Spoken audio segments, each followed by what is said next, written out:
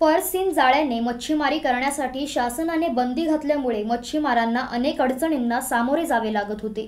त्यामुळे मच्छीमारांच्या हितासाठी सातत्याने प्रयत्न करणारे आमदार महेश बालदी यांनी महाराष्ट्र विधानसभेचे अध्यक्ष राहुल नार्वेकर यांच्या नेतृत्वाखाली केंद्रीय मत्स्य व्यवसाय पशुसंवर्धन आणि दुग्ध व्यवसाय मंत्री परषोत्तम रुपाला यांची दिल्लीत भेट घेऊन पर्सिन जाळ्याने मच्छीमारी करणाऱ्या मच्छीमारांच्या समस्या मांडल्या आणि त्या अडचणी दूर करण्याची आग्रही मागणी केली. पर्सिन जाळ्याने मच्छीमारी करण्यासाठी शासनाने बंदी केल्याने मच्छीमार बांधवांना उदरनिर्वाह करण्यासाठी मोठ्या प्रमाणात त्रास होत असल्याबाबत राज्याच्या मागील विधिमंडळाच्या अधिवेशनात आमदार महेश बालदी यांनी आवाज उठवला होता. तत्कालीन महाविकास आघाडी सरकारने मोखम उत्तर देत वेळ मारून नेली होती.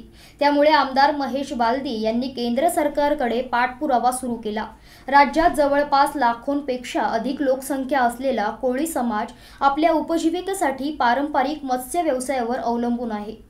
पर्सिन जाळ्याने मच्छीमारी करण्यासाठी शासनाने बंदी घातल्यामुळे कोळी समाजाला आपल्या कुटुंबियांचा उदरनिर्वाह करण्यासाठी अनेक समस्यांना सामोरे जावे लागत असल्याचे आमदार महेश बालदी यांनी केंद्रीय मत्स्य व्यवसाय मंत्री परषोत्तम रुपाला यांच्या निदर्शनास आणून दिले आणि मच्छीमारांच्या समस्या सोडविण्यासाठी उपाययोजना करण्याची मागणी यावेळी केली.